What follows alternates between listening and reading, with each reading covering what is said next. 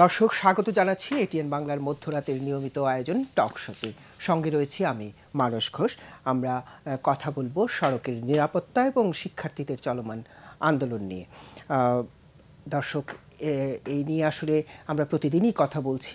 কোনো না কোনোভাবে গত এক সপ্তাহ ধরে আমরা দেখছি যে বাসের দুর্ঘটনায়, সড়ক দুর্ঘটনায় দুজন শিক্ষার্থী নিহত হওয়ার পর, মৃত্যুর পর যে চলমান আন্দোলনটা দানা বেঁধে ওঠে সব মহলের সমর্থনে বলা চলে। সেটি এখন এক ধরনের রূপ নিয়েছে, যেটি নিয়ে এক ধরনের আশঙ্কা আছে। পাশাপাশি আবার সড়কের যে নিরাপত্তার মানুষের যে আশা সেখানেও আমরা নানা ধরনের প্রতিশ্রুতি, আশ্বাস সরকারি মহল থেকে পাচ্ছি। দুটো মিলে এক ধরনের পরিস্থিতি। তো আমরা এই আলোচনায় আজকে মূলত আমরা যে অতিথিদের এনেছি, তারা বাস্তবে কি করা হচ্ছে বা হওয়ার সম্ভাবনাগুলো রয়েছে, সেই প্রসঙ্গ নিয়ে কথা বলব। তবে তার আগে আমরা শুনব নিশ্চয়ই যে আন্দোলনের আজকের পর্যন্ত পরিস্থিতি সম্পর্কে। আমি আমার অতিথিদের সঙ্গে আজকে পরিচয় করে দিচ্ছি, আমার হাতের বা পাশ থেকে পরিচয় করে দিচ্ছি। বাইরে রয়েছেন সিনিয়র সাংবাদিক মাইনুল আলম। মাঝে বসে রয়েছেন নগর বিশ্লেষক বাপার সহ সভাপতি স্থপতি মোবাসের হোসেন এবং সবশেষ রয়েছেন ঢাকা মহানগর পুলিশ ডিএমপির ট্রাফিক বিভাগের দায়িত্বে থাকা অতিরিক্ত কমিশনার মীর রেজাউল আলম। স্বাগত জানাচ্ছি আপনাদেরকে। দর্শক বুঝতেই পারছেন যে পুলিশের যিনি, রাজধানীতে যিনি পুলিশের দায়িত্বে ট্রাফিক বিভাগের দায়িত্বে রয়েছেন, তাকেও আমরা নিয়ে এসেছি। এটুকু বোঝার জন্য যে ট্রাফিক সপ্তাহ শুরু হয়েছে এবং চলমান আন্দোলনের প্রেক্ষিতে শিক্ষার্থীদের দাবিগুলোর প্রেক্ষিতে কী ধরনের উদ্যোগ তারা নিচ্ছেন সেটিও আমরা শুনব। তবে শুরুতেই যেমনটা বলছিলাম যে আন্দোলন পরিস্থিতি এই পর্যন্ত কতটুকু কি সেটুকু শুনব সাংবাদিক মানুল আলমের কাছ থেকে। আপনার দৃষ্টিতে? এটা আপনি বলছেন আন্দোলন পরিস্থিতিতে। এটা একটি গত সাত দিন ধরে চলছে এবং এটা যখন চলছে যেটা যেভাবে এটা শুরু হলো ঘটনার প্রেক্ষাপট সূত্রপাত এই থেকে এই পর্যন্ত। আন্দোলনটা প্রথম দিন যেভাবে হলো, একটি অঞ্চলে র্যাডিসন হোটেলের সামনে রমিজুদ্দিনের দুজন রমিজুদ্দিন কলেজের দুজন শিক্ষার্থী মারা যাওয়ার পর সবাই জানেন।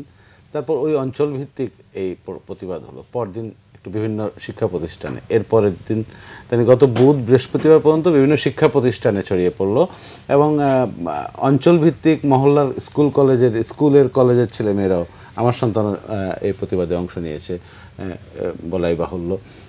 তা এখন যেই প্রতিবাদে তারা নেমেছে এবং এক পর্যায়ে যে অভিযোগ যে আমরা এই হত্যা দুজন শিক্ষার্থী, কলেজ ছাত্রছাত্রী হত্যার, নিহত হওয়ার ঘটনার বিচার চাই এবং এই যে নগরের পরিবহন সেক্টরে গণপরিবহন থেকে শুরু করে পরিবহন সেক্টরে যে পরিস্থিতি বিদ্যমান, এটার পরিবর্তন চাই। কীভাবে পরিবর্তন চাই?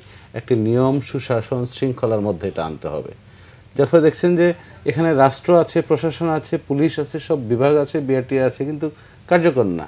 আপনি দেখেছেন গত চার পাঁচ দিনে শিক্ষার্থীরা বৃষ্টিতে ভিজে রোদে পুড়ে যেভাবে প্রতিটি সিগন্যালে প্রতিষ্ঠানের সামনে গাড়ির কাগজপত্র ব্লু বুক লাইসেন্স চেক করেছে। কারণ লাইসেন্স কেন চেক করেছে? রমিজুদ্দিনের যে দুজন ছাত্র মারা গেল ছাত্রছাত্রী মারা গেল ওখানে ওই ড্রাইভারটি। ড্রাইভারটি মোটরসাইকেলের জন্য পারমিশন প্রাপ্ত বিআরটিএ থেকে। সে ঢাকা শহরে বাস চালাচ্ছে। এই যে অনিয়ম, এই অনিয়ম যে বাসা বেঁধে আছে আমাদের সিস্টেমে আমাদের নাগরিক জীবনে, এর প্রেক্ষিতে আমরা প্রাপ্তবয়স্ক আমরা যারা সমাজে কর্ম কর্ম করি, আমরা ধর্ম করি, আমরা সমাজে মত, মতামত তৈরি করি ওপিনিয়ন বিল্ডিংয়ে কাজ করি বিভিন্ন পেশা থেকে, আমরা যেটা কিংবা আমাদের যে সিস্টেম আছে, আমি কোনো ব্যক্তি পার্টিকুলার সরকারের কথা বলছি না, যে প্রশাসনিক যন্ত্রগুলো আছে, সরকারের নিয়ন্ত্রিত রাষ্ট্রীয় যে প্রতিষ্ঠানগুলো আছে, যেখানে এর কার্যকারিতা নাই। শিক্ষার্থীরা নিজেরাই স্বতঃস্ফূর্তভাবে কষ্ট করে রাস্তায় নেমে এই কাজটা করেছে। এবং আমরা যারা পথচারী, আমরা যারা বসবাসকারী চলাচল করি, আমরা তাদেরকে সমর্থন দিয়েছি। তাই সারা দেশের মানুষের সমর্থন হয়েছে। এবং এখানে কষ্ট ব্যাপার না, এখানে ভোগান্তি কিংবা বিরক্তির কোনো ব্যাপার ছিল না। এই আন্দোলনটা এ পর্যায়ে এসছে, যার ফলে আন্তর্জাতিক মিডিয়ায় teenagers movement teenagers protest we want justice এই যে ব্যবস্থাটার যে ব্যবস্থাটার যে পরিবর্তন চেয়েছে এবং ব্যবস্থাটার যে সঠিক পথে আনার যে চেষ্টা এবং দাবি কিশোর ছাত্রছাত্রীরা পেয়েছে এটা সমর্থন পেয়েছে। এরপর নানান দিকে পানি গড়িয়েছে। এটা গুজবের গতকাল রাজধানী ঢাকা শহর আমরা দেখেছি যে গুজব। অনলাইন গণমাধ্যম সামাজিক মাধ্যম গুজবের মাধ্যম। এখানে হত্যা করা হয়েছে বলে গুজব ছড়িয়ে গেছে। মিথ্যা তথ্য প্রচার এবং প্রকাশ করেছে। এবং এখানে ধর্ষণের মতো অভিযোগ আনা হয়েছে এবং এমন ধরনের ফেক আপনি জানেন জম্মু কাশ্মীরে হত্যার ছবি এখানে এনে পোস্ট করেছে। আজকে এটা বুঝতে পেরেছি। এমন ঘটনা ঘটেছে। যার ফলে সরকার আমি এটা, আমি জনগণের কাছ থেকে বলছি, মাননীয় প্রধানমন্ত্রী যে কথাটা বলেছেন এবং যে ব্যবস্থাটা নিয়েছেন অবশ্যই সাধুবাদযোগ্য এবং সমর্থনযোগ্য, উনি তাৎক্ষণিকভাবে অ্যাড্রেস করেছেন। ব্যাপারটা হচ্ছে যে এখন পরিস্থিতি বাংলাদেশের পরিস্থিতি এমন হয়ে গেছে বোধহয় মাননীয় প্রধানমন্ত্রীর দৃষ্টিতে আনলে কোনো সমস্যার সমাধান সম্ভব। প্রধানমন্ত্রীর পরে যে মন্ত্রী পরিষদ আছে মন্ত্রণালয় আছে বিভাগ আছে ডিপার্টমেন্ট অধিদপ্তর আছে এদের বোধহয় কিছু করণীয় নাই। এটা কি ঘুমাচ্ছে না কি করছে এই ধরনের একটা পরিস্থিতি হয়ে গেছে কিংবা এটা উল্টো। পারসেপশন না এটা একটি নেতিবাচক। এটা একটি আমাদের দৃষ্টিতে এইভাবেই আমরা দেখছি দেখছি, মানে প্রধানমন্ত্রী ঘোষণা দিয়ে পাঁচটা বাস দিলেন, ওখানে আন্ডারপাস করবেন, ওখানে প্রতিটি প্রতিষ্ঠানের সামনে স্পিড ব্রেকার করবেন, একটি নিয়মের কথা উনি নির্দেশনা দিয়েছেন, কাজও হচ্ছে। তাহলে কি ডিপার্টমেন্টগুলো কি নিজ নিজ অর্পিত চার্টার অনুযায়ী কাজ করবে না? সে প্রশ্ন খুব বড় প্রশ্ন।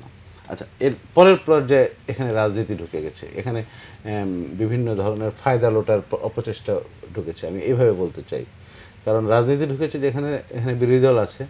বিরোধী দল একটি আন্দোলন করছে নির্বাচন করছে কিংবা সরকারকে ফেলে দেওয়ার একটা রাজনৈতিক এজেন্ডা নিয়ে কাজ করছে আমাদের রাজনৈতিক দল হিসাবে আমি এটা বলছি।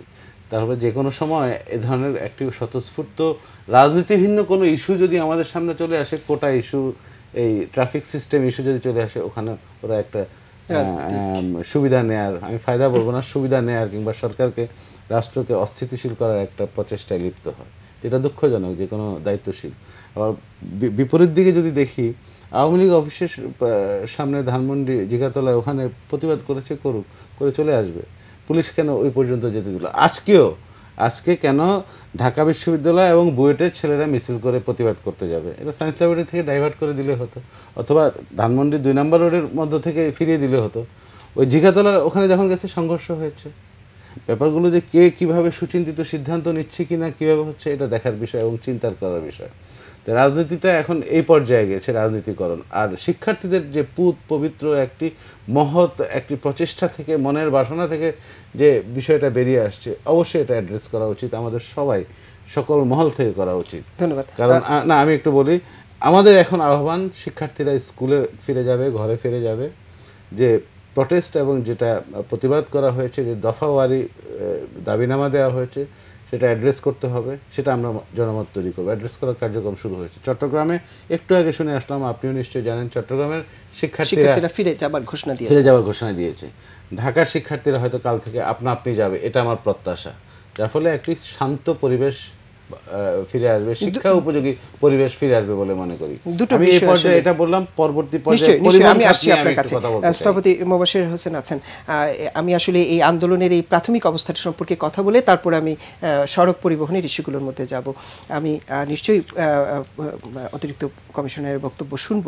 কিন্তু তার আগে একটু এই আন্দোলনের যে বর্তমান অবস্থায় যেটা দাঁড়িয়েছে এটি এটি স্পর্শকাতর কমলমতি শিশুরা যখন রাস্তায় তখন এরকম যখন পুলিশ অ্যাকশনে যায়, আমাদেরও খুব কষ্ট হয়, আমরা খুব আতঙ্কে থাকি এবং যে গুজব ছড়ানো হয় বা হচ্ছে এটি আমাদের আতঙ্কগ্রস্ত করে তুলে তুলে।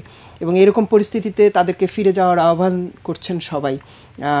আমি ঠিক বুঝতে পারছি না যে এরকম বাস্তবতায় এরকম একটি সুন্দর আন্দোলন যেটি শুরু করল শিক্ষার্থীরা সেটি এভাবে কেন হাইজাক হয়ে যাবে বা আমরাও তো চাই সড়কের উন্নতিটা। দেখেন পৃথিবীতে ইট ইজ স্টাবলিশড যখন আপনি একজন পকেট মারকে ধাওয়া করেন চোর চোর চোর চোর বলতে বলতে, রাস্তার মোড় ঘুরে সে নিজেই কিন্তু চোর চোর বলা শুরু করে। টু সেভ অর এই অন্যায়ের বিরোধীদের ভিতরে ইনফিল্ট্রেট করার জন্য। আপনি চিন্তা করেন মক্কা শরীফে পকেট মার বিভিন্ন দেশ থেকে যায় পকেট মারার জন্য। এবং এখানে আমাদের বাংলাদেশের পুলিশ তাদের ইন্টারভিউ নিয়ে দেখিয়েছে যে তা তাহলে ঘটনা এই জিনিসটি সব ক্ষেত্রেই থাকে। আর আমি যদি আমার কোরআন হাদিসের বক্তব্য দেই, তাহলে আরও মজার জিনিস দেখতে পাবেন। আল্লাহ তালা প্রথমে বললেন যে, এ হচ্ছে আমার ফেরেস্তা সর্দার ফেরেস্তার প্রধান। সে আল্লাহ তালা কিছুদিন পরে বলছে, এ হচ্ছে এক নম্বরের শয়তান। তো উনি তো প্রথমেই শয়তান বানাতে পারতেন, এটা হলো মানুষকে জানানো যে, ভালো লোকটিও খারাপ হতে পারে, ঠিক তেমনি একজন খারাপেরও ভালো হওয়ার সুযোগ আছে। এটার মানে হচ্ছে এভরিবডি সব সময় দৃষ্টি রাখতে হবে কে কীভাবে কি করছে। এখন আসা যাক, এই যে শিশুরা যে কাজটি করেছে, ভাই একটি সুন্দর কথা বলেছে যে ওদের এই কাজ সর্বমহলে প্রশংসিত হয়েছে। কেন? সর্বমহলে কেন প্রশংসিত হলো? তারা যদি শুধু বাস ড্রাইভারদের লাইসেন্স দেখতো, এটা প্রশংসার পর্যায়ে যেত না। যখন দেখা গেল এই ছেলেগুলি, এমনকি তার বাবার গাড়ির লাইসেন্স চেক করছে, যখন দেখা গেল এই ছেলেগুলি বিচারপতিকে ধরছে যখন দেখা গেল পুলিশের বড় কর্তাকে ধরছে তার মানে যখন সর্বমহলে রাজনীতিবিদকেও ধরছে। রাজনীতি কাউকে বাদ দিচ্ছে না। মন্ত্রী। এই মন্ত্রী সবকিছু। এইটার মানে হলো যে যেটা আমরা মুখে বলি তারা কিন্তু করে দেখাল। আমরা কি বলি? আইন সবার জন্য সমান। তাই কি? আইন তো সবার জন্য সমান না। এই সমাজে। এই সমাজের সমান না। যদি সমান করতে পারতাম তাহলে কি হতো? তারা তিন দিনে দেখিয়ে দিয়েছে সবার বেলা সমান করার সাথে সাথে এটা been appreciated by every one এবং এই যে রাজনৈতিক দলগুলিরও বক্তব্য, হওয়া উচিত ছিল যে মাননীয় প্রধানমন্ত্রী যখন কমিট করেছে, আমরা চাই এই কমিটি কমিটমেন্টটি সম্পূর্ণ সুস্থ, সুন্দরভাবে বাস্তবায়িত হোক এবং বাস্তবায়নের জন্য আমরা বাংলাদেশের দলমত নির্বিশেষে এই এই, এইটাকে বাস্তবায়ন করার জন্য সর্বাত্মক সহযোগিতা করব। এইটা যদি, এটা কিন্তু আমরা পার্শ্ববর্তী দেশ ভারতে দেখতে পাই। খুনাখুনি মানে মারামারি এইটার সাথে সরকার বিরোধী আন্দোলনকে যুক্ত এটাকে আমি বলি কই আমরা তো দুই তিনটা ক্ষেত্রে তো আমরা আবার ইউনাইটেড এমপি সাহেবদের বেতন বৃদ্ধির প্রশ্ন উঠলে all are united tax free গাড়ি আনার সময় ওনারা ইউনাইটেড এমনকি ভালো কথাও আমি বলি ক্রিকেট বাংলাদেশ যখন ক্রিকেট খেলা হয় তখন সব রাজনৈতিক দল বাংলাদেশকে সাপোর্ট করে। আমি এইটা এই যে শেষের কথাটা বললাম এটাতে এটাই প্রমাণ করতে চাচ্ছি অল্প করে হলেও বাংলাদেশের প্রতিটি বাঙালির অন্তরের ভিতরে দেশপ্রম দিক দিক করে হলেও জ্বলছে। তাহলে এই যে শিশুরা যে কাজটি করল, সমগ্র বাংলাদেশের জন্য করেছে, একটি সন্তান, একটি মেয়ে তার বাবার গাড়ির লাইসেন্স চেক করছে। এটা চিন্তা করার বাংলাদেশের ইতিহাসে এই ঘটনাটি ঘটে নাই। আমরা এটাকে অন্য দৃষ্টিতে দেখব। এটা সরকারের, সরকারকে আমরা, সরকারি কর্মকর্তা কোটি কোটি টাকা আমরা বেতন নিয়ে যে তথ্য দিতে পারি নাই যেটা যে নোংরার দিকটা উন্মোচন করতে পারি নাই এত বছরে তারা তিন দিনে উন্মোচিত করেছে। So we are so lucky the whole nation is so lucky we got this type of childrens in our house আমরা এটাকে হাইলাইট করব এদের পাশে দাঁড়াবো এদেরকে ব্যবহার করব না। আমি মনে করি ছেলেপেলেদের স্কুল থেকে তারা তারা যে মেসেজ দেওয়ার ছিল সেটা দিয়েছে। সেটা দিয়েছে গ্রহণ করা না করা এই মানুষের। এটা বাস্তবায়ন করা চাইলেও তারা করতে পারবে না, বরং সেখানে এই দুর্ঘটনাগুলি ঘটবে। তোমরা নোংরা প্রমাণ করে দিয়েছে, তোমাকে গোসল করতে হবে। কিন্তু ওদের দায়িত্ব গোসল করানো না। আমরা সেই জায়গায় থাকতে চাই, যেতে চাই, এবং আমি প্রতিটি মানুষের কাছে, প্রত্যেকটি রাজনৈতিক দলের কাছে খেলোয়াড়ি চিন্তায় আমি বলতে চাই, বাংলাদেশের ক্রিকেট টিমকে যখন সর্বদলীয়ভাবে আপনারা প্রশংসা করেন, ঠিক এই কাজটিকে এইভাবে প্রশংসা করেন। এইভাবে বাস্তবায়ন করার জন্য মাননীয় প্রধানমন্ত্রী, বর্তমান সরকার চাপ রাখেন। যেন ভুল না হয়। এবং আমি এই, এর পাশেই আজকের অভিজ্ঞতাটাকে আমি বলব। যেহেতু অনেকের মধ্যেই এই ধারণা হয়েছে যে ছাত্রদের আন্দোলনকে বন্ধ করার জন্য পুলিশ এই ট্রাফিক সপ্তাহ দেওয়া হয়েছে। যাতে পুলিশ এবং ছাত্রদের মধ্যে, ছাত্রও লা- লাইসেন্স দেখছেন, ওনারাও লাইসেন্স দেখছেন। এমন ঘটনা ঘটতে পারে এই ধরনেরও ফোরকাস্ট করা হচ্ছিল।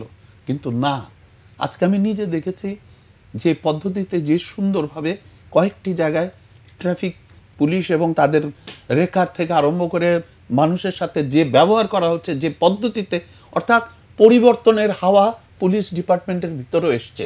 কারণ খারাপ লোক থাকে সবসময় মুষ্টিমেয় দে বিকাম মোর পাওয়ারফুল কিন্তু ভালো লোকের সংখ্যা হচ্ছে পৃথিবীতে সবচেয়ে বেশি তার আমি যদি মুক্তিযুদ্ধের কথা বলি বাংলাদেশে প্রথম মুক্তিযুদ্ধে যে জীবন দিয়েছে এই পুলিশ ডিপার্টমেন্টের লোক। এটা কিন্তু আমাদের মনে রাখতাম আমরা এই কথাটা মনে রাখি না পুলিশ ডিপার্টমেন্টও আমাদেরকে এটা মনে করার না।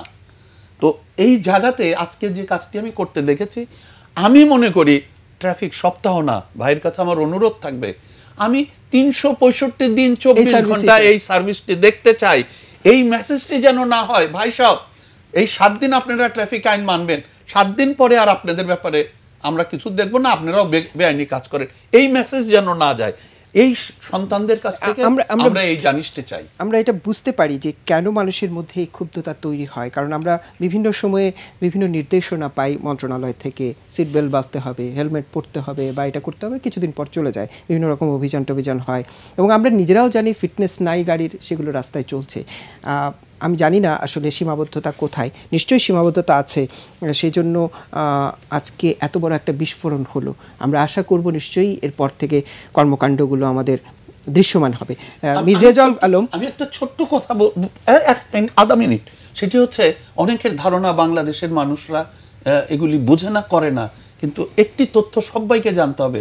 যে মানুষগুলি একেবারে গ্রাম থেকে ঢাকায় না এসেও বিদেশে কাজ করতে যাচ্ছে এক কোটি ছেলে পেলে তারা তো কেউ গাড়ির নিচে পড়ে না তারা কেউ ট্রাফিক আইন ভঙ্গ করে না। হাউ দে ডিড ইট তারা নেমেই প্রথম শেখে how to cross the road এবং তারা এটিও জানে যে ওই দেশের সর্বোচ্চ ব্যক্তিও যদি এই অকাজটি করে তারাও বাঁচার রাস্তা নেই। ধন্যবাদ।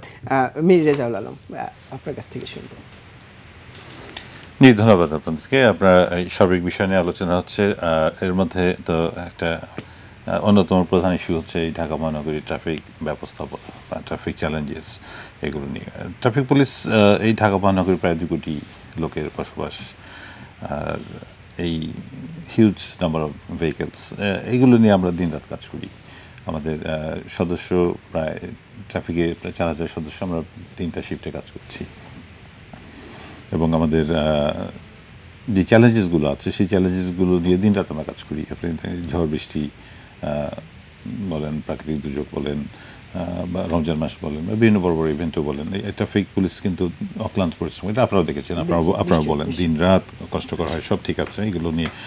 আর আমরা মোটা দাগে যদি বলি আমরা শুধু এনফোর্সমেন্টের জন্য আমরা উই আর এম্পাওয়ার্ড আমরা মোটর ভেহিকেলস টেকনোলজি আমরা ট্রাফিক আইন ভঙ্গের ক্ষেত্রে আমরা এনফোর্সমেন্ট করি। এর বাইরে অন্যান্য অনেক ইস্যুজ আছে আপনারা জানেন ট্রাফিক ইঞ্জিনিয়ারিং আছে ট্রাফিক এডুকেশন আছে বড় বড় বিষয়গুলো আছে এগুলো আরও অনেক দায়িত্বপ্রাপ্ত সংস্থা আছে তারাও কাজ করছে। তা ট্রাফিক ব্যবস্থাপনা নিয়ে শুধু ঢাকা মহানগর পুলিশ আমরা একলাই কাজ করছি না সব কিছু আমাদের নিয়ন্ত্রণে না। আমাদেরকে অ্যাসিস্ট করার জন্য আরও মোটা দাগে আরও বড় বড় সংস্থা আছে বিআইটি আছে সিটি কর্পোরেশন আছে রাজুক আছে। তো সবার কাজের আলটিমেট এন্ড রেজাল্ট কিন্তু আসে আমার কাঁধে এসে পড়ে। হ্যাঁ আমাকে ওই ওই সামাল দিতে হয় আমাকে। হ্যাঁ আমার জবাবদিহিটাও কিন্তু আমাকে করতে হয়।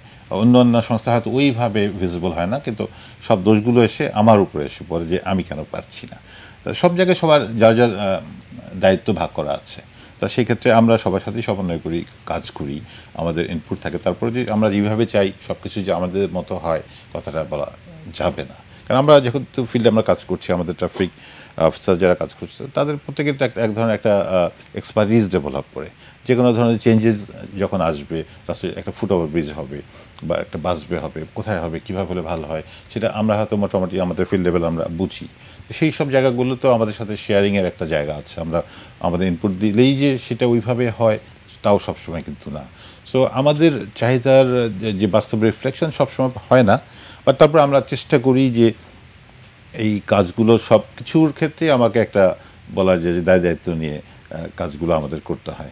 সো আমরা সামনে আছি, আমরা জবাব দিই, আমাদের কাজ শতভাগ সফল আমরা বলব না বাট তারপরেও এই মহানগরীর যে বিশাল একটা চ্যালেঞ্জেস আছে, এই বিশাল জনসংখ্যার এই শহরে ট্রাফিক আইন মানার যে একটা সংস্কৃতি যেটা ভাই আপনি বলছিলেন, ওই জায়গাটা আমরা তো পিছিয়ে আছি। তা গ্রাম থেকে অনেক নতুন লোক আসছে, কিন্তু বাইরে না হলেও আমার দেশে হয়তো দেখা যাচ্ছে যে গাড়ি যে স্টিয়ারিং হাতে নিয়েছে, সে বুঝবেন যে এই মহানগরীতে গাড়ি চালানো কত কঠিন। ডানে বায়ে, সামনে পেছনে লোক দৌড়ে পার হয়ে যাচ্ছে ফুটওভার ব্রিজ আছে, আমরা ফুটওভার ব্রিজে কিন্তু লোক না, নিতে আমাদের হিমশিম খেতে হয়। আপনি এয়ারপোর্ট ক্রসিং যান ফার্মগেট যান, সোনারগাঁয়ে যান ভেরি ডিফিকাল্ট সো এই চ্যালেঞ্জগুলো আমাকে করতে হচ্ছে। আমি যখন যদি এনফোর্সমেন্ট বলেন হ্যাঁ আপনি ফুল এনফোর্সমেন্ট যারা ট্রাফিক আইন ভঙ্গ করছে, সবাইকে কেন ধরছেন না? এই প্রশ্ন আসতেই পারে। তা আমার কাজেরও তো কিছু টাইমিং আছে, যে আমি পিক আওয়ার যখন হয়, সকাল বা বিকালে, তখন আমরা এনফোর্সমেন্টে যেতে গুরুত্ব দিই যে কীভাবে একজনকে অফিসে দ্রুত পৌঁছে দেওয়া যায় বা কীভাবে বিকেলে একজনকে বাসায় পৌঁছে দেওয়া যায়, তখন কিন্তু আমার থাকে যে ট্রাফিকটাকে টেনে নিয়ে যেতে হবে। এনফোর্সমেন্ট হাতে অফ পিক আওয়ার আমরা ফোকাস বেশি করি। পিক আওয়ারেজ একদম করি না, তা না করি বাট আমার কাজের স্লট হয়তো আমাকে, কাজের সুবিধার্থে আমরা ভাগ করে নিই। এবং যে পরিমাণ পপুলেশন অ্যান্ড ভেহিকলস আছে, সেই জায়গাগুলোতে আপনার এই এনফোর্সমেন্ট শতভাগ নিশ্চিত করা একটু কঠিন কাজ নো ডাউট আমাদের যে, যেই পরিমাণ আমাদের লোকবল আছে, জনবল আছে, আমরা, তারপর আমরা চেষ্টা করি এই সার্বিক বিষয়ে আপনার লাইসেন্সবিহীন যে বিষয়গুলো আসছে লাইসেন্সবিহীন গাড়ি চলাচল করে আমরা গত ছয় মাসে প্রায় প্রায় এক লক্ষ একুশ হাজার, বাইশ হাজার মামলা করেছি এই ছয় মাসে ট্রাফিক ড্রাইভিং লাইসেন্স না থাকার কারণে। জরিমানাও করেছি অনেক অনেক। তা আছে অ্যাচিভমেন্ট আছে অনেক। সেগুলো হয়তো আপনার ভিজিবল হয় না। আমাদের অ্যাচিভমেন্ট মামলা অনেক আছে, অনেক কাজ করছি। বাট তারপরে বলব যে এই ক্ষেত্রে আমাদের আরও অনেক এগিয়ে যাওয়ার বিষয় আছে। সাম্প্রতিক যে বিষয়গুলো এসছে আমাদের কোমলমতি ছাত্রছাত্রীর যে, যে- দাবির বিষয়গুলো এসছে অবশ্যই এটাতে এর মাধ্যমে তো তাদের মতামত, একটা, এক ধরনের একটা রিফ্লেকশন তো এসছে যে তারা কি চায়, কোনটা হলে ভালো হয়, এটা আমরা সবাই বুঝেছি, আমরা জানি, আমরা অ্যাপ্রিসিয়েটও করেছি এবং আমরা বলেছি যে হ্যাঁ তাদের যে দাবি দেওয়াগুলো আছে, আমরা আমাদের সর্বপর্যায়ে কিন্তু কথাগুলোর রিফ্লেকশন এসে নিরাপদ সড়ক চাই। শিওর, আমরাও চাই। আমরাও তাদের সাথে কখনোই দ্বিমত হওয়ার কোনোই সুযোগ নেই। কিন্তু একটা পর্যায় পর্যন্তই তো ঠিক আছে যে হ্যাঁ আমরা তো রিয়েলাইজ করেছি যে তোমরা কি চাও। এরপরে তো তোমার কাজটা স্কুলে যাওয়া, পড়ালেখা করে কাজটা তোমাকে যেতে হবে। অবশ্যই, আমি আমি আনলিমিটেড টাইম থাকলে যা হওয়া তাই হচ্ছে। এখন আপনারা দেখেছেন যে কোনো দিন রাজার পুলিশ লাইন্স কেউ কখনো তো আক্রমণ করে নাই। মিরপুর পুলিশ লাইন্সে কেউ কখনো আক্রমণ হয় না, আমরা অতীতে দেখিনি। এই কোমলমতি শিশুদের কারা ইউজ করল? কে ডাইভার্ট করল তাদেরকে?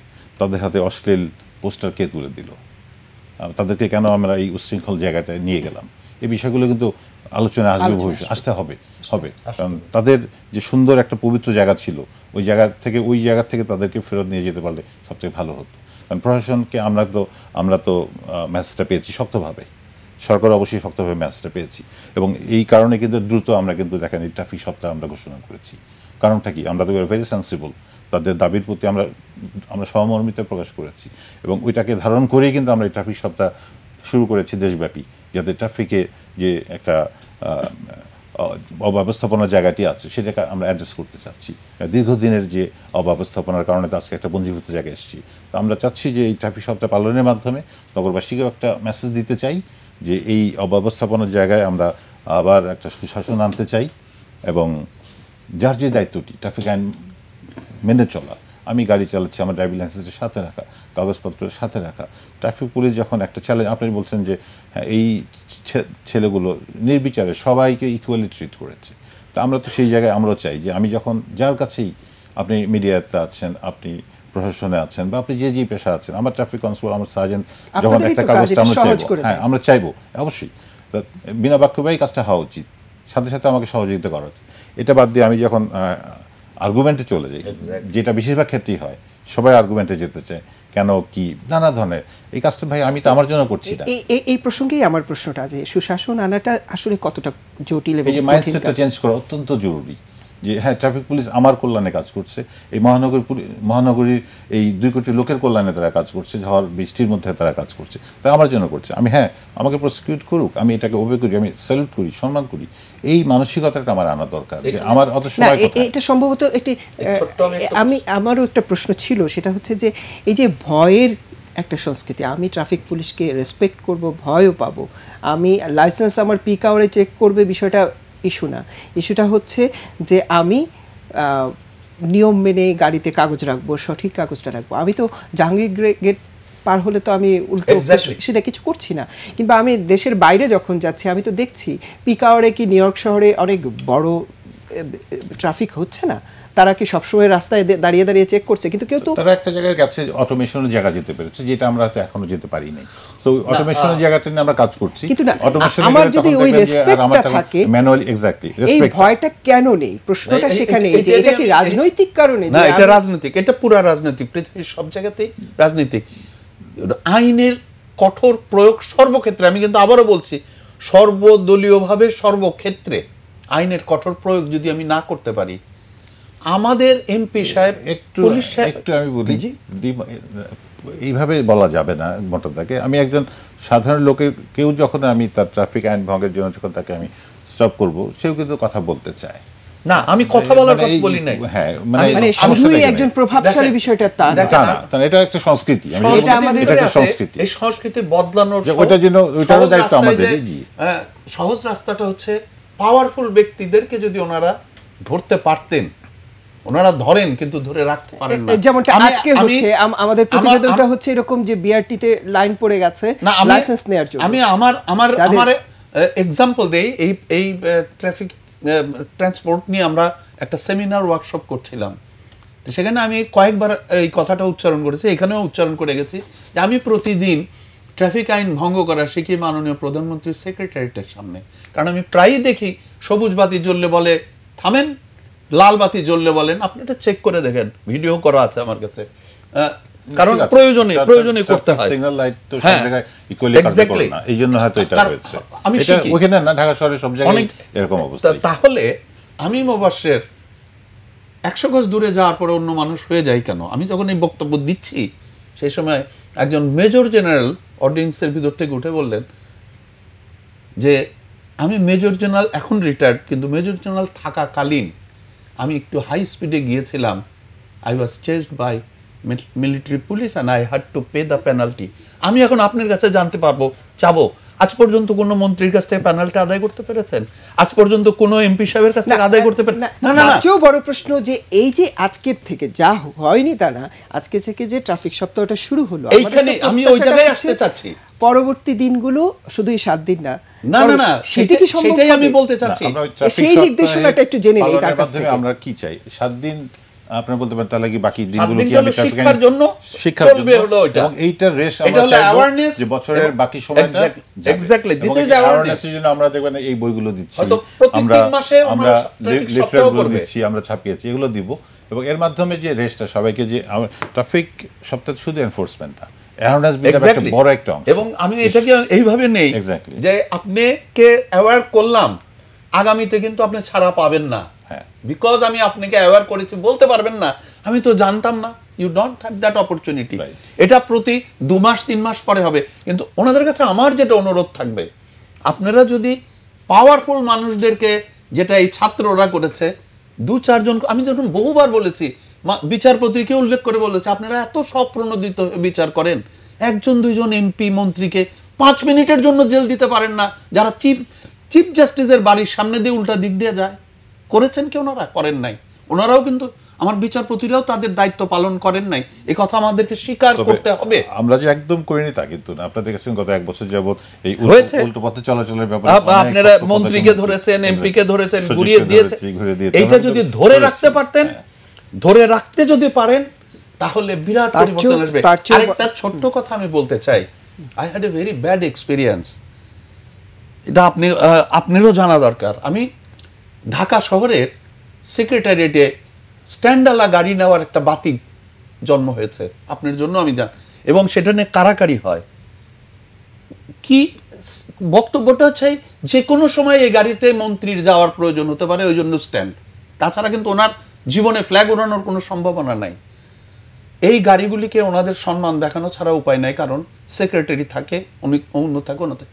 আমি একদিন একজনের এই স্ট্যান্ডওয়ালা গাড়ি নিয়েছিলাম, ইচ্ছাকৃতভাবে, এবং ড্রাইভারকে বলেছিলাম, তুমি এক ঘণ্টা কন্টিনিউয়াসলি ট্রাফিক আইন ভঙ্গ করে গাড়ি চালাবা। I got salute in different places from your sergeant this is এই জায়গায় আপনাকে ধরতে হবে, এবং আজকে আপনাদের মাধ্যমে আমি অনুরোধ করছি বাংলাদেশের কোনো গাড়িতে স্ট্যান্ড দরকার নাই। আর মন্ত্রীদের গাড়িতে স্ট্যান্ড যদি লাগাতে হয় শুধুমাত্র মন্ত্রী আসার পরে আমরা ডিজাইন করে দেবো যে দুই মিনিটের ভিতরে স্ট্যান্ড ফিট করা সম্ভব। বাট ভিজিবল কোনো স্ট্যান্ড থাকবে না। দেখেন ওনাদের কাজ কত সহজ হয়ে যাবে যে চিন্তা করা যায় না। চিন্তাই করা যায় না। ধন্যবাদ। মাইনুল আলম যে কথাগুলো উঠছিল যে আহ, ক্ষমতার দাপট এবং রাজনৈতিক প্রভাব আমাদের আসলে ট্রাফিক সিস্টেমের জন্য হ্যাঁ, সবচেয়ে বড় অন্তরায়। আমাদের অনেক সিস্টেমে আছে। যেহেতু আমরা এখন ট্রাফিক ব্যবস্থা নিয়ে কথা বলছি ব্যাপারটা হচ্ছে যে একটা আইন আছে। Motor vehicle act of nineteen eighty three R BRT ordinance nineteen two thousand twelve twelve A দুটো হচ্ছে ঢাকা শহরে যে কোনো দে- বাংলাদেশের ট্রাফিকের সড়ক ব্যবস্থাপনার মূল আইন ফলো করার জন্য। এখানে সব লেখা আছে। চমৎকার সুন্দর আইন আমি পড়েছি গতকালও একটি আলোচনায় আমি এটা বলেছি। এখানে বলা আছে কি করলে কি করতে হবে উল্টো পথে কিংবা আপনার কাগজপত্র না থাকলে টাকাটা ওনারা মাঝে মাঝে নির্ধারণ করেন ডিএমপির অর্ডিন্যান্স অনুযায়ী ক্ষমতা দেওয়া আছে। কিন্তু সব করণীয় আছে। এখন এটা হচ্ছে প্রয়োগ অ্যান্ড এনফোর্সমেন্ট এটার কার্যকারিতা। একটি আইন আছে দেশের ষোলো কোটি মানুষের জন্য এই আইনটা প্রযোজ্য কার্যকর। এখানে কি আপনি কাউকে বাদ দেয় এখানে কি আপনি দুই হাজার লোককে এই আইনের কার্যকারিতা থেকে বাইরে রাখবেন? প্রশ্নটা হচ্ছে সেখানে আমাদের শিশুরা সেটা বলে দিয়েছে। আমাদের কিশোররা বলে দিয়েছে। আমি বলছি এখন কি হবে? কি হবে? এতদিনের অভিজ্ঞতায় কি মনে হয় যে আসলেই পাল্টাবে? ট্রাফিক আমি এবার আশাবাদী আমি আমি আশাবাদী হতে চাই। আমি আশাবাদী হতে চাই কারণ আহ, আমরা যারা আহ, প্রাপ্তবয়স্ক বয়োজ্যেষ্ঠ আমরা যারা আহ, নীতি নির্ধারক কিংবা ক্ষমতার সাথে আহ, যুক্ত আমি সব শ্রেণীকেই বলছি। রাজনীতি কিংবা ক্ষমতা কিংবা সুবিধাপ্রাপ্ত জনগণ যারা জন জনগোষ্ঠীর অংশ আমরা কিন্তু আইনকে অমান্য করার আমি বলব আপনি আইন মানেন কিন্তু আমি আইনটা মানবো না। মানার আমার সেই মানসিকতা কালচার ধ্যান ধারণা তৈরি হয়নি। এটা কিন্তু সবার মধ্যে নাই। আমি আমি সাংবাদিক হিসাবে আমি আত্মসমালোচনা করতে পারি আমাদের গণমাধ্যমের একশো না হলে বিশ তিরিশটা গাড়ি গত এই চার পাঁচ দিনে বাচ্চাদের শিশুদের ধরা পড়ছে। আহ, সাংবাদিক পরিবহনকারী হয়েছে। আমি নিজেকে আমার আমার শিশু আমাকে আমার সন্তান আমাকে বলেছে তোমাদের টেলিভিশনের মিডিয়ার গাড়ি কেন থাকবে না? প্রপার ডকুমেন্ট পেপারস থাকবে না? এটা প্রশ্ন এসছে। সুতরাং গণমাধ্যম হোক যে কোনো বাহিনী হোক যে কোনো পেশাই হোক এর ঊর্ধ্বে না। আরেকটা কথা যেটা বলতে চাই যে এনফোর্সমেন্ট আপনি জানেন ঢাকা শহরের ট্রাফিক ব্যবস্থাপনা না ভয়টা কোথায়? একজন সার্জেন্ট কেন তাকে ধরতে পারবে না? তার চাকরি চলে যাবে? নাকি তাকে তাকে একজন বিচারককে ধরেছিল তাকে কি ধরনের পানিশমেন্ট দেওয়া হয়েছে? সেই উদাহরণগুলো আমাদের সামনে এগুলো। আমাদেরকে আমি আমি আপনাকে কয়েকটা জিনিস ধরিয়ে দিতে চাই। ধরিয়ে দিতে চাই। সেটি হচ্ছে যেমন ধরেন এই প্রসঙ্গগুলো আমরা বুঝতে পারলাম রাজনৈতিক। এখন আমাদের সন্তানরা যে রাস্তার আহ, সড়কের ব্যবস্থাপনাটা চাচ্ছে লেন ধরে গাড়ি চলবে। আমার শহরে আমাদের শহরে যে পরিমাণে প্রাইভেট কারের রেজিস্ট্রেশন দেয়া হয়েছে তাতে একটা সড়ক কতটা ধারণ করতে. একজন ট্রাফিক সার্জেন্ট একটা ফার্ম গেট কারণ বাজার তেজগার মতো ব্যস্ত সড়কে কীভাবে এইটুকু কন্ট্রোল করবে? এই জায়গায় কি আমরা কথা বলছি? নাম্বার টু আমরা গণপরিবহনের দিকটা তো নিশ্চয়ই বিবেচনায় রাখব সবার উপরে। তাই তো হওয়া উচিত। সেই গণপরিবহনের পরিবর্তনটাকে আমরা খুব দেখেছি যে গাড়িগুলো সড়কে চলছে বছরের পর বছর একই গাড়িগুলো চলছে। তাহলে প্রভাবশালীরা তো প্রভাবের জায়গাগুলোতে থেকেই যাচ্ছে। এক সপ্তাহের ট্রাফিক সপ্তাহ পালন করে তারপরের দিনগুলো থেকে আমরা আইন মানব ট্রাফিক সার্জেন্ট সৎ থাকলেন ওনারা নির্দেশনার জায়গায় অটুট থাকলেন। আমার পরিবহন সেক্টরের কি হবে? আমার গণমানুষের যাতায়াতের জায়গাটা কি হবে? এই গাড়িগুলো বন্ধ হয়ে থাকলে এটার জবাব মানুষ আপনি আমি দিচ্ছি আমি নিজের থেকে দিচ্ছি না আমি কোট করছি। না আপনি আপনার অবস্থান থেকে না না আমি আমি শুনব রেজাউল আলমের কাছ থেকে। গত তিন দিন আগের একটা বক্তব্য আপনি নিশ্চয়ই গণমাধ্যমে দেখেছেন। ওখানে স্লোগান এসছে ফার্ম গেটের কোনো একটা শিশুদের গ্যাদারিং থেকে স্কুল ছাত্রছাত্রীদের গ্যাদারিং থেকে যে মন্ত্রী এমপি আমলা সরকারি কর্মকর্তারা যারা প্রতিনিয়ত ব্যক্তিগত প্রাইভেট গাড়িতে সপ্তাহে তিন দিন গণপরিবহন ব্যবস্থা ব্যবহার করতে হবে। স্লোগান। নিশ্চয়ই সেটা হতে পারলে। ভালো। আমরা তো জানি আমাদের আমাদের জনপ্রতিনিধিরা সেরকম না। না এখানে গণপরিবহনের কথা বলেছেন এখানে গণপরিবহন ব্যবস্থা গড়ে ওঠেনি। কবে উঠবে আমি জানি না। যদি এই ধাক্কা আমাদেরকে চোখ দেখিয়ে দেয় কান কান খাড়া করে দেয় গণপরিবহন আপনি কি করবেন? একটি ট্রাফিক ডিপার্টমেন্টকে আমি এককভাবে দায় দিব না বিআরটিওকে দেব না। কারণ হচ্ছে এক কোটি দেড় কোটি উনি বলেছেন দুই কোটি লোকের বসবাস এই শহরে। এখানে গণপরিবহন বলতে কিছু আছে?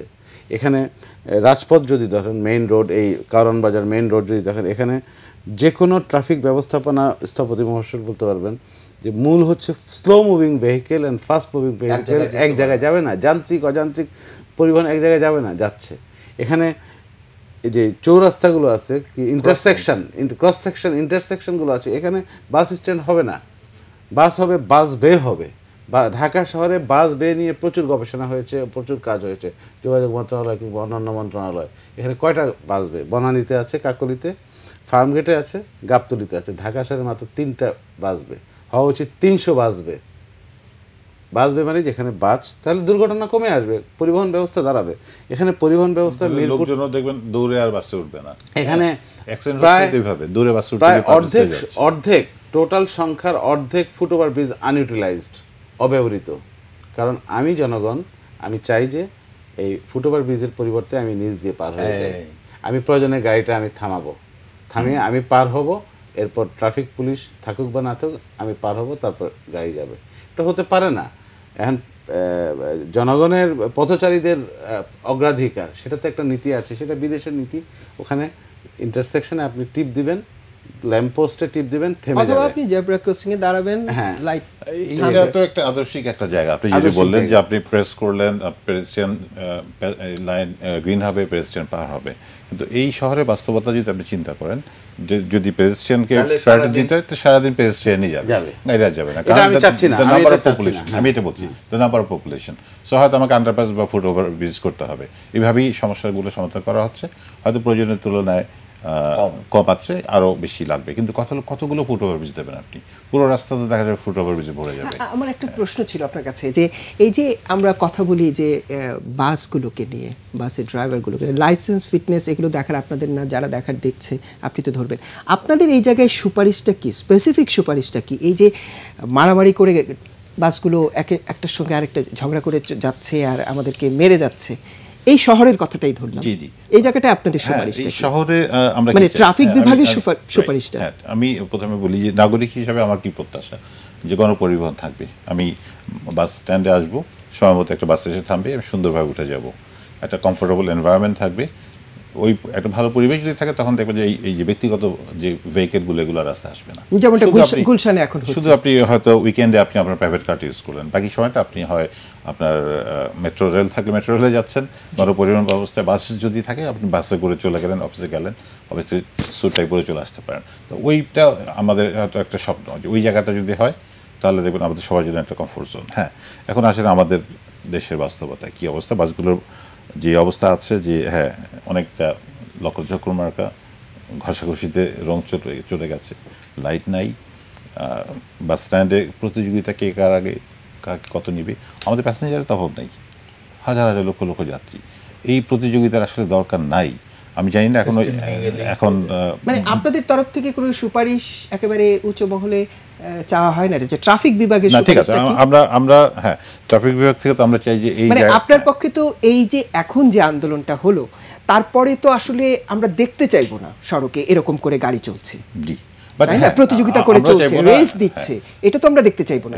এখন আপনার নিশ্চয়ই এখানে কিছু কাজ করার আছে সুপারিশ আছে একটা সেন্সিটিভিটি তৈরি হচ্ছে একটা বলব সহায়ক পরিবেশ তো তৈরি হচ্ছে। সবাই এই বিষয়টা নিয়ে এখন অনেক বেশি সেন্সিবল আমরা সবাই বিষয়টা নিয়ে ভাবছি। তা এই জায়গাগুলোতে এই যে অসুস্থ প্রতিযোগিতা বা এই জায়গাগুলো নিয়ে কাজ করার অনেক চিন্তা ভাবনা হয়েছে অনেক আলোচনা হয়েছে যে এতগুলো রুট বিভিন্ন পরিবহন সংস্থা কোম্পানি এগুলো কমিয়ে এনে ওই ফ্র্যাঞ্চাইজি ভিত্তিক একটা কনসেপ্ট কিন্তু ইদানিং বেশ আলোচনা হচ্ছে। যেটা আমরাও কিন্তু এর পক্ষেই বলছি। আচ্ছা। আমার মনে হয় যে এই জায়গাটা নিয়ে যদি এখন একটু কাজ করা হয় দ্রুত যেটি ঢাকার সাবেক মেয়র আনিসুল হক মহোদয় কিন্তু এই বিষয়টা নিয়ে বেশ সরব আমার প্রশ্নটা হচ্ছে সেখানেই যে এই জায়গাটা নিয়ে কাজ করা হয় দ্রুত আদৌ কি হবে দ্রুত? এবং এই যে ছাত্ররা ছাত্রীরা যে স্কুলে ফিরে যাবে আপনাদের কথায় তারা ফিরে গিয়ে আসলে কি দেখবে? আমি খুব দ্রুত কি আমরা এই জায়গাটার কথা বলছি? না এখানে একটু এখানে কতগুলো জিনিস হচ্ছে রাজনৈতিক সিদ্ধান্ত? আমি যদি একটুখানি উল্টিয়ে চলে আসি মাননীয় প্রধানমন্ত্রী নির্দেশ দিয়েছেন আইন পাশ করতে হবে। এই আইনটি কতদিন আগে থেকে পড়ে আছে?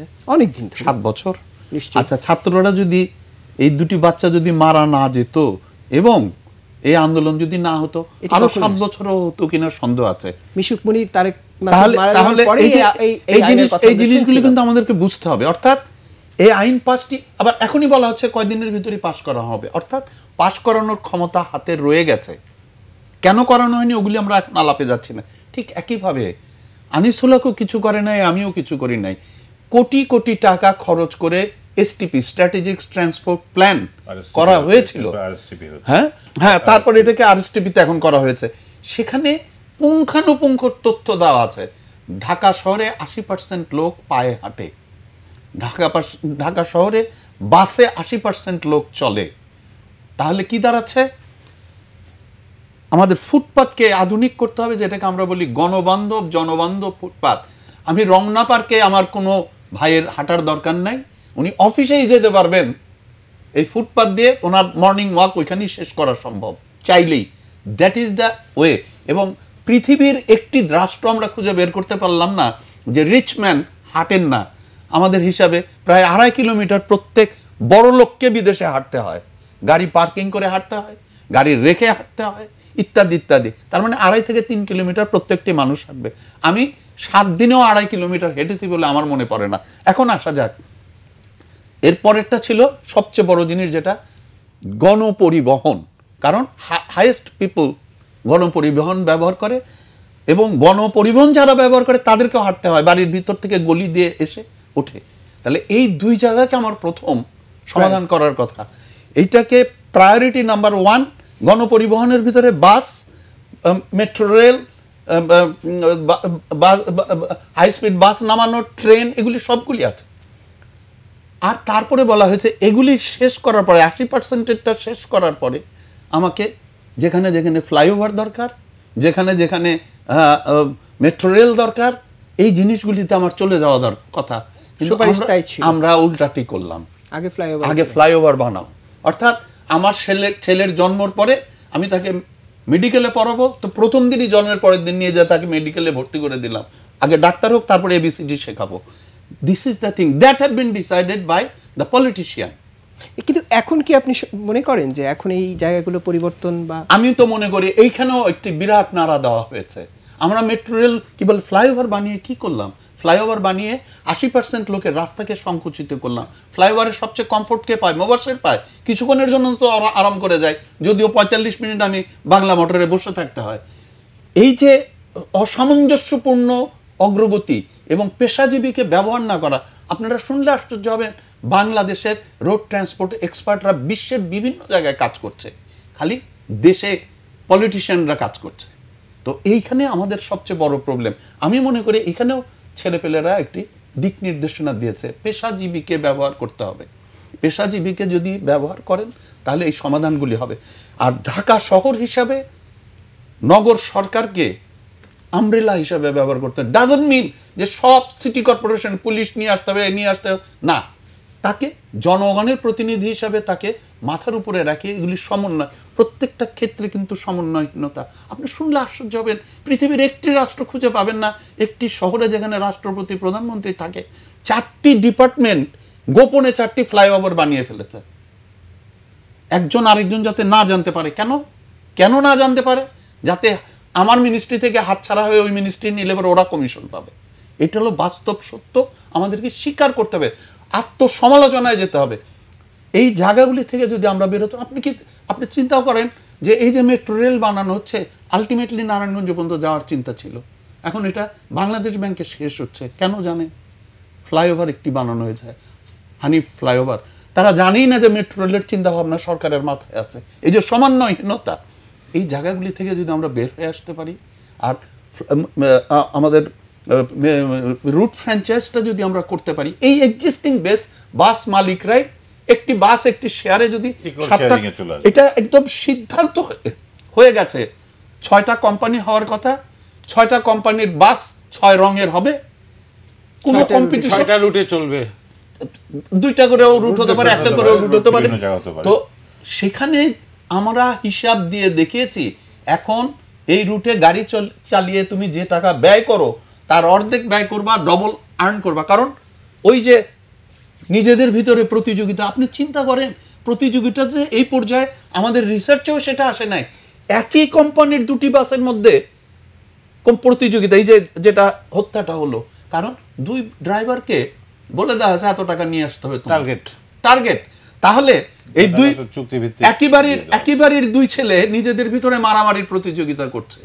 তো এই জায়গা থেকে বের হয়ে আসতে হলে আপনাকে রুট ফ্র্যাঞ্চাইজ করা আমরা আসলে এই জায়গাটাই মাইনুল আলমের কাছ থেকে শুনতে চাচ্ছি যে এই মূল আসল এই জায়গাটা নিয়ে তো কাজ হচ্ছে না মানে আমরা এই না। কদিন ধরে তো এই আলোচনায় আসিনি যে আমরা এই এই জায়গাটায় এই কাজটা হচ্ছে না এই যে সমন্বয়হীনতা ভাবে যা এবং এটি এই জন্য যে।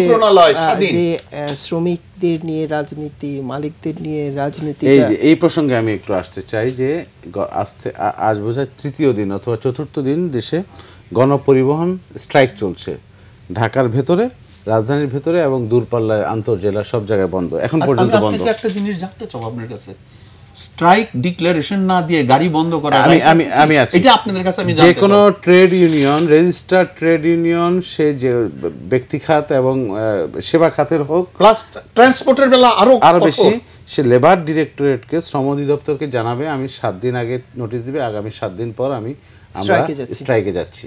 এটা নিয়ম এটাই করেছে এই শ্রমিক ফেডারেশন কিংবা এই মালিক ফেডারেশন। স্ট্রাইক বলা যাবে না বিদ্যমান ওনারা অবস্থার কারণে হয়তো তারা ওই আস্থাটা পায় না আমরা যা বুঝি যে ওই আস্থাটা না পাওয়ার কারণে হয়তো তারা গাড়ি বের করে নাই।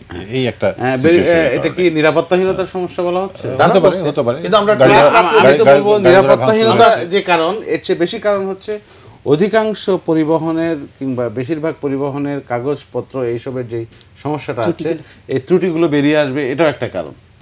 এটা একটা কারণ এবং এটা এই যে ভাই একটা কথা বললে আমি একটা ছোট্ট ঘটনা বললে আপনি ওনার সত্যতাটা সত্যতাটা বুঝতে পারবেন।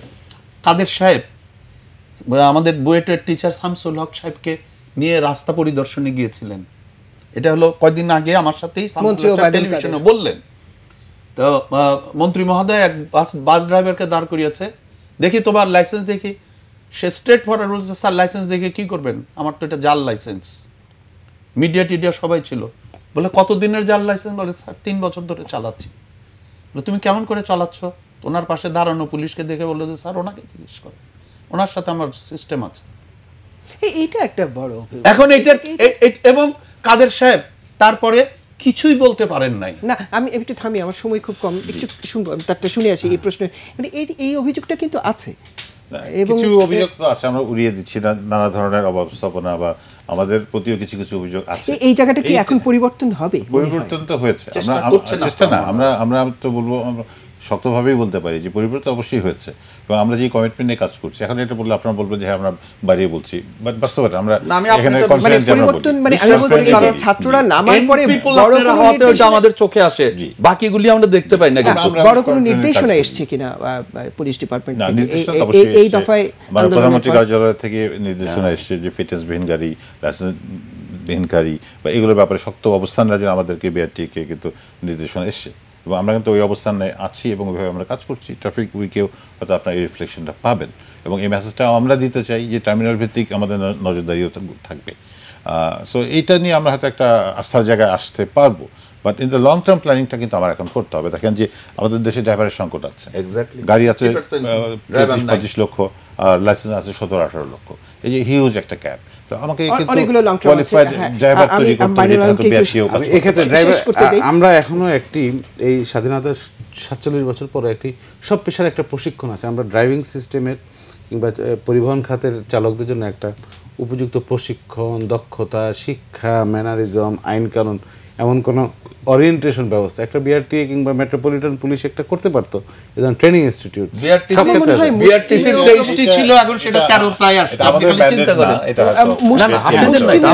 প্রভাবশালী জাতীয়। পর্যায়ে হতে শ্রমিক এবং যাত্রী উভয়ই জিম্মি জিম্মি। একটা- একটা- একটা এখন এখন আমাদের এই যে নৈরাজ্য এবং একটি প্রেশার গ্রুপ কাজ করছে পরিবহন খাতে গণপরিবহন আমি আম- এক মিনিটের মধ্যে এটা আমি বলতে চাই এই প্রেশার গ্রুপ কারা? এরা রাজনৈতিকভাবে প্রভাবশালী শক্তিশালী এরা অর্থবিত্তে প্রভাবশালী শক্তিশালী। হ্যাঁ, ওনার একটা কমিটি আসছে ভিআরসি ভেহিক্যাল রিজিওনাল কমিটি কি? আরটিসি আরটিসি এটা কি উনি কার্যকর করতে পারেন? আমি নিশ্চিত উনি কার্যকর করতে পারেন না। এই কমিটিতে যারা আছে এত প্রভাবশালী এই কমিটিকে পরোয়া করেন। এই কমিটি কিন্তু লাইসেন্স দেওয়ার এখতিয়ার। তাহলে মূল জায়গাগুলোতে কাজ রুট পারমিট রুট পারমিট। এটার উপর আমাদের শতভাগ নিয়ন্ত্রণ আছে। নিয়ন্ত্রণ আছে কিন্তু কার্যকারিতা নিয়ে আমরাও ইমপ্লিমেন্ট করি এবং আমরা যেভাবে অ্যাসেসমেন্ট করে এখানে রাজনৈতিক প্রভাব এবং এই যে জিম্মি দশা এই যে বার্গেনিং এজেন্ট যারা এরা হয়ে গেছে পলিসি মেকিং এজেন্ট যার ফলে হয়ে গেছে এটা। আপনি বার্গেনিং করবেন। জায়গা মতো কথাটা বলছে শ্রমিকরা হবে তাদের দাবি দেওয়া পূরণ করবে মালিক পক্ষ এবং এখন মালিক পক্ষ শ্রমিক পক্ষ ষোলো কোটি মানুষকে জিম্মি করে ফেলছে। এর কি রাজনৈতিক সমাধান কি আইনি সমাধান আমি জানি না। ভূতের মধ্যে বোধহয় সরিষায় বোধহয় ভূত আছে। তারপরেও আমরা কিন্তু আহ, ছাত্রছাত্রীদের বলছি শিক্ষার্থীদের বলছি ফিরে যাক। আমরা নিশ্চয়ই লং টার্ম একটা পরিকল্পনার আশ্বাস নিশ্চয়ই আমরা পাচ্ছি। একটা কথা বলব একেবারে ছোট্ট।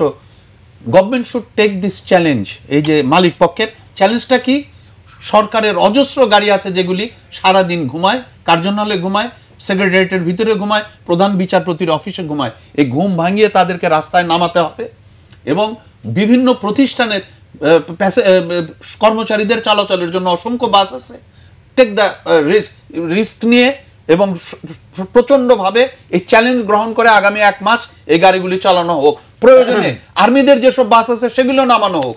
দেখেন ঘটনা আপনি চ্যালেঞ্জ অ্যাকসেপ্ট না করলে সমাধান এই অনুষ্ঠান আমরা যখন প্রচার করছি কয়েক ঘণ্টা পরেই ক্যাবিনেটে একটি আইন আসছে যেটা কয়েক বছর ধরে পড়েছিল। এই আইনটা আমরা দেখি আইনের বিধি বিধানগুলো দেখি শাস্তির ধারাগুলো দেখি।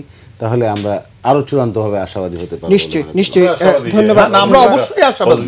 ধন্যবাদ আলম ধন্যবাদ সভাপতি মোবাশির হোসেন এবং ধন্যবাদ রেজাউল আলম।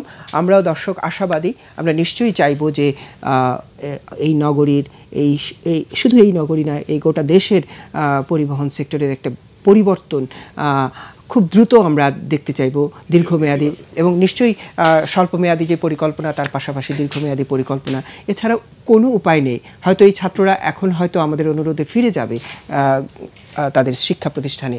কিন্তু আমরাই আবার চাইব তারা যেন বেরিয়ে আসে। যদি আমরা না দেখি, যদি আমরা না দেখি এই পরিবর্তন। ধন্যবাদ দর্শক। আমাদের সাথে থাকার জন্য শুভরাত্রি।